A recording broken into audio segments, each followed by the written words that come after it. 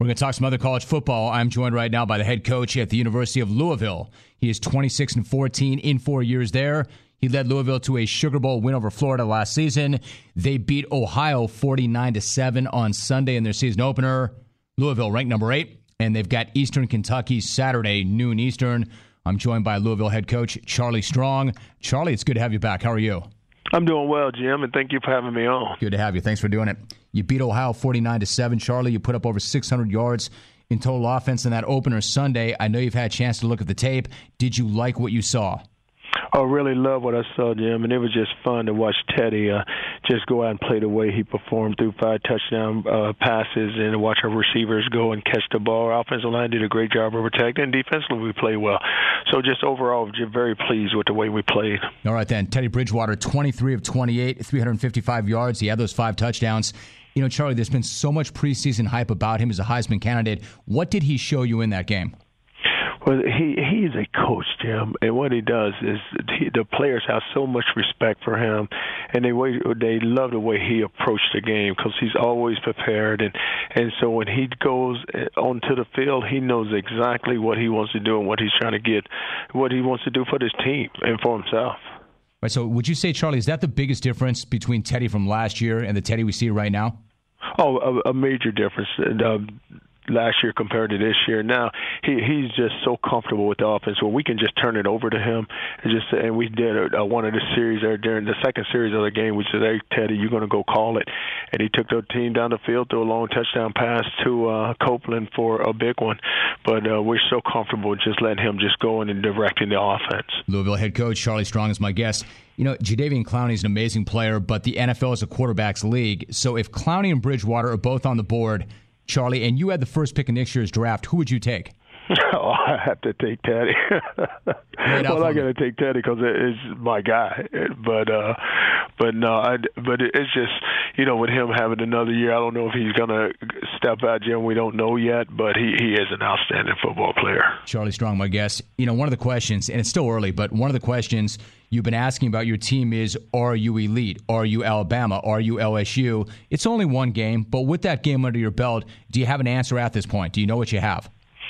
I I really don't. Jim, and what I try to tell our team all the time is we had to play at game level. We had to take each game one at a time and, and take advantage of the opportunities being given to us. And then at the end of the season, we'll just see where we measure up and where we're going to end up. But we cannot worry about what everyone else is saying. It's got to be all about us, and we had to take care of ourselves. You go out and perform at your best, and then we'll just see what happens. You know, you don't want you guys getting caught up, but what about your approach of your team? For instance, you had players watching other top 10 teams on Saturday, and you said that the way they watched those games told you something about their mindset. What do you mean by that? Well, what happened uh, a year ago, Jim? We would watch those teams play, and uh, they'd be, you know, they were ooh and ah. But this year, when we, and you know, on Saturday when we watched some of those good games, and we watched some really good games on Saturday, they weren't so caught up into the to the, those other teams. You know, they was just looking at them saying, "Hey, that's the way we got to go out and play." and it was never that mindset where hey that's the way we have to go out and play because they were caught up where they never thought that they were just as good enough or on those levels those but now it's it's a whole different team a bit of a much more mature football team. Louisville head coach Charlie Strong, my guest. Yeah, I guess if there was one concern, if there was a concern, you had 11 penalties for 90 yards. Would you look at that as first game jitters, or were the guys lacking some focus and discipline at times? Uh, lacking focus and discipline because you, you look at us on offense, we had five, uh, five false start penalties and two holding. You know, you had seven there, you had two in the kicking game. So it was it was just a lack of focus where they just had to lock in and, and play the game for 60 minutes. You know, it's nine months ago, Charlie, and it's a whole new season, and you can't look back, and you've got to look ahead. But you've had some time. Just how big a win over Florida in the Sugar Bowl was that for your program? Oh, it was it was a big win, Jim, and and I, the reason why I, I look at that win is just that it, I think that was the win that made them step up their game, and they can realize they realize now that they can step up their game and because Florida's a good football team, and now for them to go in and compete with Florida, it gave them more confidence and it made them feel better about themselves. Where hey guys, if we just go prepare the right way, then we can go play with these type of teams. Now, the American Athletic Conference, Charlie, is not expected to be as tough this year. At least right now, that's how it would appear. Although Cincinnati did have a really nice win over a Big Ten opponent. Are you concerned at all about your strength of schedule? Is it something that could come back to haunt you? No, I, I just you know, uh, Jim, I try not to focus on it at all, and try not to get our team to even focus on it, because I say, guys, if we just go handle our business and we just keep each and every week go, going out and competing, then at the end of the day, and we see where we end up, well, the right the right judgment will be made for us, and we'll be placed in the right position. Charlie, let me ask you about Michael Dyer. He had four carries, 48 yards. He had a touchdown against Ohio. He's a guy who left Auburn after his sophomore year. He was dismissed from Arkansas State. What kind of questions did you ask him before he joined the team?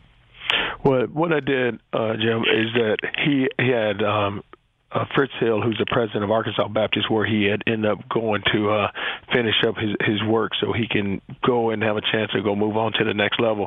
And then he had a uncle who was a who's a sergeant there in the police department in Little Rock. So I, I spoke with both of them, and I and I said, and Fitz, he said, I will bring him to you, Fitz Hill did. I said, no, no, I don't want you to bring him to me. I want him to speak for himself. I want him to come up here by himself. And so when Michael came up here, the first question I asked him is, "Why do you deserve another chance?" And I just wanted to hear what he was going to say. And I said, you know, I said, there's so much out there has been said about you. I don't know if you can change. I don't know if you are about that. But I said, if I take you in this program, you have no choice but to change. And and it's not going to be your way. It's going to be our way you know, in, in terms of it being your way and not his way, you actually made him sign a behavioral contract. Is that as unusual as it sounds? Well, really it isn't. And and what I didn't want to do is treat him any different than any other player on this team because I've had players that get in trouble, and, and I had players that do things they shouldn't do. So I said, oh, let's not bring him in here, and all of a sudden he, he, we have to just watch over him and watch his every move. We're making sign a behavioral contract, which I've done with players here. You know, like if a guy has missed, uh, a, uh, you know, a number of classes, or if a guy has broken a core value, I made him sign a core. I mean, I made him sign a behavioral contract, and I said, you know, if you do it again, then you, you got to go find somewhere else to play. But what I didn't want to do with Michael was just feel like that you know we're just going to be for every time he turns around, somebody's going to be looking at him and watching him. You know, I wonder. I mean, typically, do those contracts work? Do they feel like if they put their name on something, they're more likely to adhere to it? Oh, they will. And but I explained it to him. I said, "Let me tell you now. Before you sign this, now you better read it and read it closely, because if you break, if, if it's written in stone right now, and if it happens, then you know what the penalty is going to be." So you had to understand it before you sign it. And I said, now think about it. Now, do you, really want to sign this? Oh, yeah, I signed it. I said, okay. Well, if you sign it now, you telling me that whatever's written here, I'm going to do everything you asked me to do, Coach. Yes, Coach, I will do it. Hmm.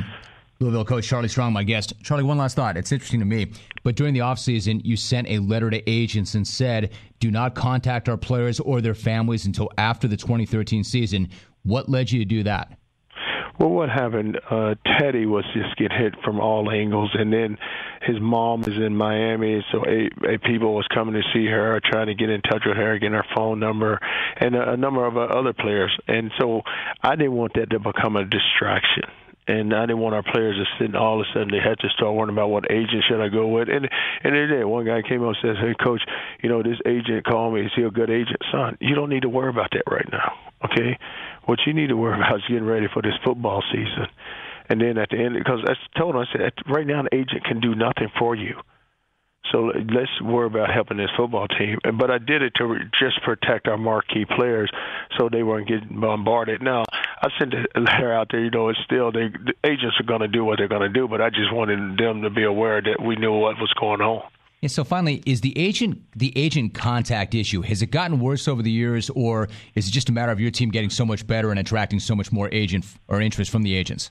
A combination of both. I think it's gotten worse, and but uh, with, with the number of players and what we have now, and then we having some success, then you that's what comes with it. Now there's a lot that comes with it, and the agents are one of them. Louisville starting off strong. They've got that big win over Ohio next up. Eastern Kentucky on Saturday, noon Eastern. Charlie Strong, my guest. Charlie, great to visit with you. Thanks so much. Thank you, Jim. Thank you for having me on. Always good to talk to you, Charlie. Thank you.